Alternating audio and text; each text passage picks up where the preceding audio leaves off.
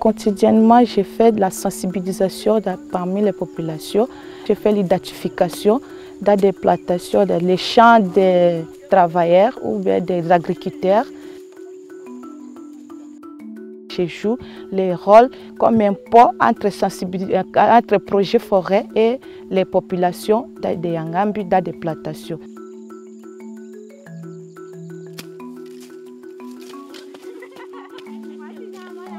Tout le monde m'aime, pour ça, on m'appelle souvent maman fine, maman fine, maman fine. Et je suis avec les paysans et, les travailleurs des projets forêts en beau terme.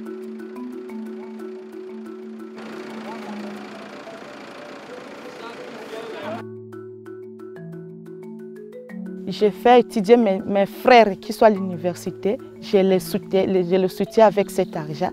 J'ai fait ma, ma, famille personnellement dans ma maison. J'ai acheté des choses.